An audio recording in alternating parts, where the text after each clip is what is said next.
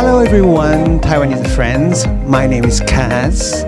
I'm international makeup artist Givenchy.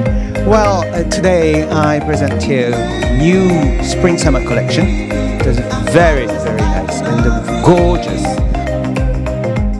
And I use an eyeshadow. It's a new eyeshadow. You know, this is a new collection. This colors very joyful and uh, very colorful and stay a very long time. We can mix with any color brand. Very useful. And we can use it like eyeliner or like eyeshadow. Or we can put in water uh, line. And uh, it's very long lasting and important powder.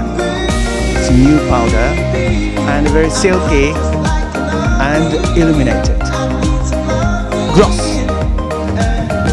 very smooth tumbling and helpful and it doesn't stick at all. This is a new collection